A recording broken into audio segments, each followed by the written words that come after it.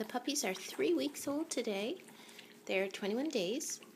They're doing really, really well.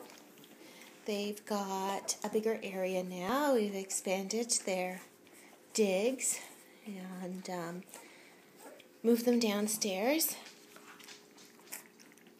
And they're getting very messy because they decided that they want to eat mummy's food. So now we're letting some of them eat. And of course, they're still nursing. And the other dogs are very curious about the babies, aren't you?